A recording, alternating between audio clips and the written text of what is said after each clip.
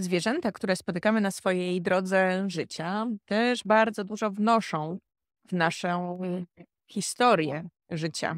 Podpowiadają, na co zwrócić uwagę, o co zadbać i czym się zająć. I tak na przykład, jeżeli urządli nas osa, w zależności w którą część ciała, to możemy zwrócić uwagę na to, co chce przekazać, co chce, o czym nam chce przypomnieć.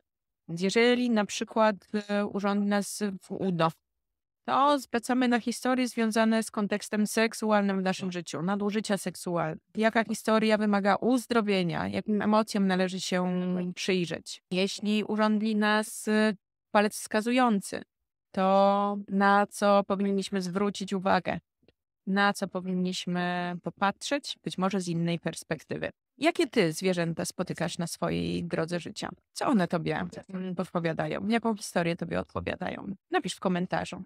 I zapraszam na grupę Ogarnij się i zacznij żyć. Do zobaczenia.